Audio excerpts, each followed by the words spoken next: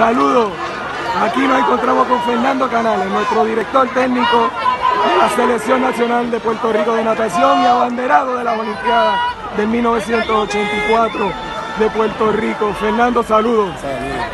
Fernando, ponnos en perspectiva eh, este, este logro que ha hecho este joven de ganar su tercera medalla, una de bronce en el relevo 200 libres, una de oro en, el en 200 combinados y hoy una de plata en 400 metros combinados. Pone en perspectiva eh, quién es Yarot y, y cómo ha llegado, cómo ha sido este logro en el día de hoy.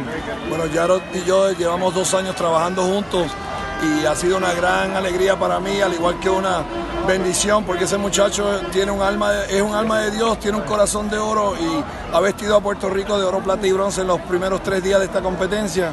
Yarod entrena tan duro como cualquier otro y he tenido la dicha de trabajar en muchos países.